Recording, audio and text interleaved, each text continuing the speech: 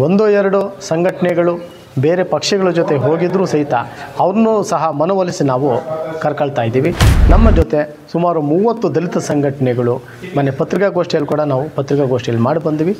ಮೂವತ್ತು ದಲಿತ ಸಂಘಟನೆಗಳು ನಮಗೆ ಬೆಂಬಲ ಇದೆ. ವಿಧಾನಸಭಾ ಕ್ಷೇತ್ರಕ್ಕೆ ಸಂಬಂಧಪಟ್ಟಂತೆ ಸಮಸ್ಯೆಗಳನ್ನು ಈ ಹಿಂದೆ ಅನೇಕ ಶಾಸಕರು ಗೆದ್ದರೂ ಮಾಡಲಿಲ್ಲ. ಉದ್ದೇಶ ಇಷ್ಟೇ, ಉದ್ಯೋಗಾವಕಾಶ ಸೃಷ್ಟಿ ಮಾಡಬೇಕು.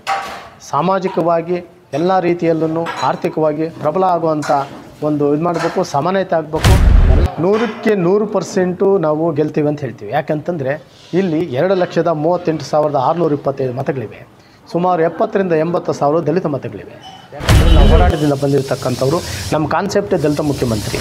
ಮತ್ತು ಸಮಾನ ಮನಸ್ಕರ ಸ್ನೇಹಿತರುಗಳು ಸೇರಿ ಏನಿವತ್ತು ಕೋಲಾರ ವಿಧಾನಸಭಾ ಕ್ಷೇತ್ರಕ್ಕೆ, ಸಾಮಾನ್ಯ ಕ್ಷೇತ್ರದ ಈ ಒಂದು ಕ್ಷೇತ್ರಕ್ಕೆ ದಲಿತ ಅಭ್ಯರ್ಥಿಯಾದಂಥ ನನ್ನನ್ನು ಸ್ಪರ್ಧೆ ಮಾಡಲು ಎಲ್ಲ ಸಂಘಟನೆಗಳು ನನ್ನ ಬೆಂಬಲಿಸಿವೆ. ದಲಿತ ಮುಖ್ಯಮಂತ್ರಿ ಬೇಕಾಗಿರೋದ್ರಿಂದ ನಾವೆಲ್ಲರೂ ಹೋರಾಟಗಾರರು ವಿಧಾನಸಭೆಗೆ ಹೋಗಬೇಕಾಗಿದೆ. ನನ್ನ ಹೆಸರು ವೆಂಕಟಾಚಲಪತಿ ಅಂತ, ಪ್ರಗತಿಪರ ದಲಿತ ಸಂಘಟನೆಗಳ ಒಕ್ಕೂಟದ ಅಧ್ಯಕ್ಷ ಹಾಗೂ ವಕೀಲ. ಏನು ಕೋಲಾರ ವಿಧಾನಸಭಾ ಕ್ಷೇತ್ರಕ್ಕೆ ಸಂಬಂಧಪಟ್ಟ ಹಾಗೆ ಪ್ರಗತಿಪರ ದಲಿತ ಸಂಘಟನೆ ಒಕ್ಕೂಟದ ವತಿಯಿಂದ ಎಲ್ಲ ದಲಿತ ಸಂಘಟನೆಗಳ ಸ್ನೇಹಿತರುಗಳು, ಸಮಾನ ಮನಸ್ಕರ ಸ್ನೇಹಿತರುಗಳು ಸೇರಿ ಏನಿವತ್ತು ಕೋಲಾರ ವಿಧಾನಸಭಾ ಕ್ಷೇತ್ರಕ್ಕೆ, ಸಾಮಾನ್ಯ ಕ್ಷೇತ್ರದ ಈ ಒಂದು ಕ್ಷೇತ್ರಕ್ಕೆ ದಲಿತ ಅಭ್ಯರ್ಥಿಯಾದಂಥ ನನ್ನನ್ನು ಸ್ಪರ್ಧೆ ಮಾಡಲು ಎಲ್ಲ ಸಂಘಟನೆಗಳು ನನ್ನ ಬೆಂಬಲಿಸಿವೆ. ಕಾರಣ ಇಷ್ಟೇ. ಮೊದಲಿಂದ ನಾವು ಹೋರಾಟ ಮಾಡ್ಕೊಂಡು ಬರ್ತಾ ಇರ್ತಕ್ಕಂಥದ್ದು ದಲಿತ ಮುಖ್ಯಮಂತ್ರಿ ಈ ರಾಜ್ಯಕ್ಕೆ ಆಗಬೇಕು ಅನ್ನೋದು ನಮ್ಮ ಕೂಗು.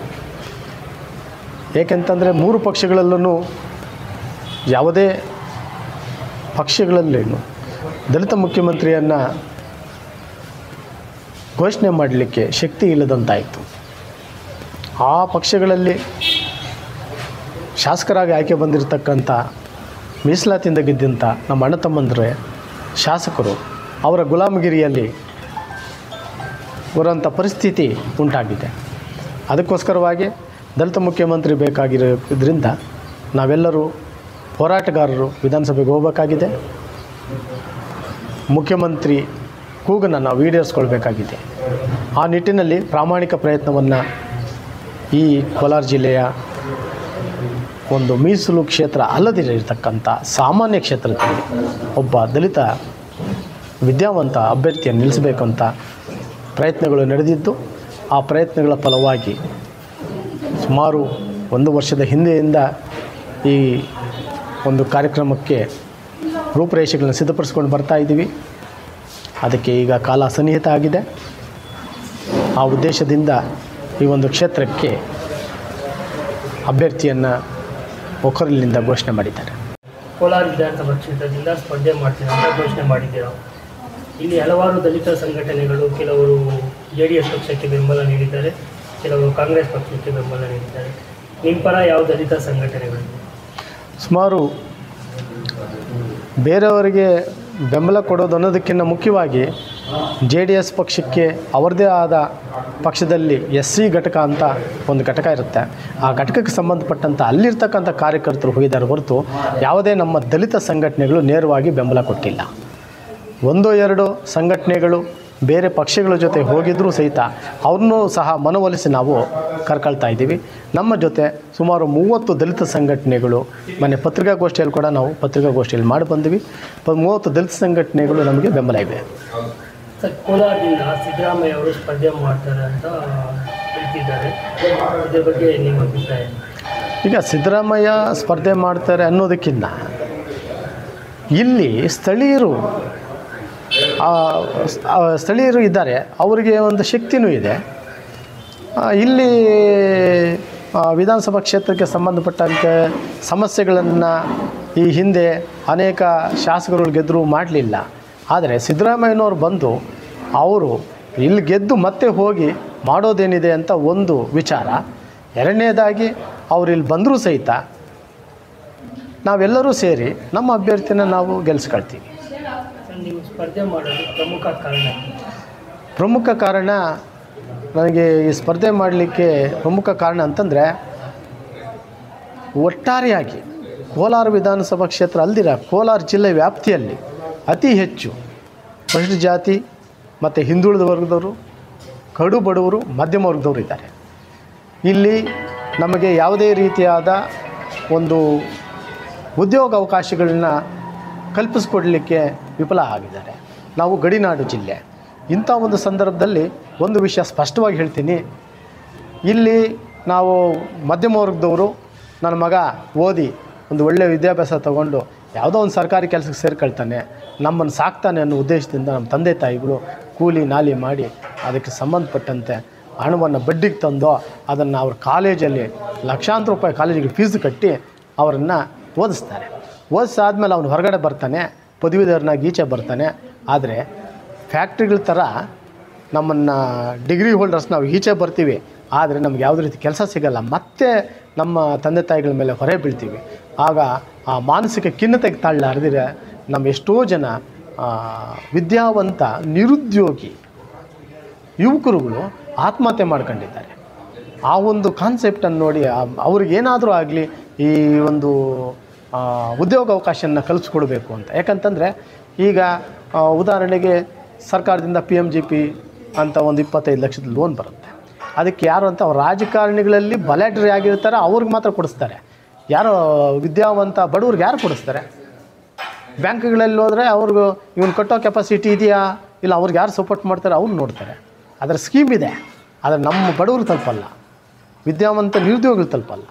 ಅದನ್ನು ತಲುಪಿಸಬೇಕು. ನನ್ನ ಉದ್ದೇಶ ಇಷ್ಟೇ. ಉದ್ಯೋಗ ಅವಕಾಶ ಸೃಷ್ಟಿ ಮಾಡಬೇಕು. ಸಾಮಾಜಿಕವಾಗಿ ಎಲ್ಲ ರೀತಿಯಲ್ಲೂ ಆರ್ಥಿಕವಾಗಿ ಪ್ರಬಲ ಆಗುವಂಥ ಒಂದು ಇದು ಮಾಡಬೇಕು. ಸಮಾನತೆ ಆಗಬೇಕು. ಎಲ್ಲ ವರ್ಗದವ್ರಿಗೆ ಆಗಿರ್ತಕ್ಕಂಥ ಯೋಜನೆಗಳೇನು ಇದೆ? ಆ ಯೋಜನೆಗಳು ಮಧ್ಯಮ ವರ್ಗದವರು ಕೂಲಿ ಕಾರ್ಮಿಕರಿಗೆ ನೇರವಾಗಿ ತಲುಪಬೇಕು. ಅದು ಯಾವುದೇ ಕಾರಣಕ್ಕೂ ಬಡ ಶ್ರೀ ಬಡವರಿಗೆ ಮಾತ್ರ ತಲುಪಬೇಕು ಶ್ರೀಮಂತರಿಗೆ ತಲುಪಬಾರ್ದು ಅನ್ನೋ ನಿಟ್ಟಿನಲ್ಲಿ ಹೋರಾಟನ ನಾವು ತಾಳ್ತೀವಿ. ನೀವು ಕೋಲಾರ ವಿಧಾನಸಭಾ ಸ್ಪರ್ಧೆ ಮಾಡ್ತಿದ್ದೀರಾ? ನೀವು ಗೆಲ್ಲೋ ಚಾನ್ಸಸ್ ಇದೆಯಾ ನೂರಕ್ಕೆ ನೂರು ಪರ್ಸೆಂಟು ನಾವು ಗೆಲ್ತೀವಿ ಅಂತ ಹೇಳ್ತೀವಿ. ಯಾಕಂತಂದರೆ ಇಲ್ಲಿ ಎರಡು ಲಕ್ಷದ ಮೂವತ್ತೆಂಟು ಸಾವಿರದ ಆರುನೂರ ಇಪ್ಪತ್ತೈದು ಮತಗಳಿವೆ. ಸುಮಾರು ಎಪ್ಪತ್ತರಿಂದ ಎಂಬತ್ತು ಸಾವಿರ ದಲಿತ ಮತಗಳಿವೆ. ಹಿಂದುಳಿದವರು ಮತಗಳಿದ್ದೇವೆ. ಅಲ್ಪಸಂಖ್ಯಾತರು ಮತಗಳಿವೆ. ನಮ್ಮ ಕಾನ್ಸೆಪ್ಟಿಗೆ ಒಡಗೊಡೋದೋಗಿ ತುಂಬ ಬಡವರು ನಾವು. ಇಲ್ಲಿ ಶ್ರೀಮಂತ ಮತ್ತು ಬಡವರ ಮಧ್ಯೆ ನಡೆಯುವ ಒಂದು ಯುದ್ಧನೇ ಅಂತ ಅಂದರೂ ತಪ್ಪಾಗಲಾರ್ದು. ಈ ಒಂದು ವಿಚಾರದಲ್ಲಿ ನನ್ನ ಪರ ಈ ಒಂದು ಕಾನ್ಸೆಪ್ಟ್ ಇರೋದ್ರಿಂದ ಇಲ್ಲಿನ ಮತದಾರರು ತುಂಬ ಬುದ್ಧಿವಂತರಿದ್ದಾರೆ. ಯುವಕರು ಬುದ್ಧಿವಂತರಿದ್ದಾರೆ. ಈ ಸಾರಿ ಈ ಒಂದು ಕಾನ್ಸೆಪ್ಟನ್ನು ತಗೊಂಡು ಇವ್ರನ್ನೆಲ್ಲ ಹೊರದೂಡಿ ನನ್ನನ್ನು ಆಯ್ಕೆ ಮಾಡ್ತಾರೆ ಅನ್ನೋ ಒಂದು ಭರವಸೆ ಇದೆ.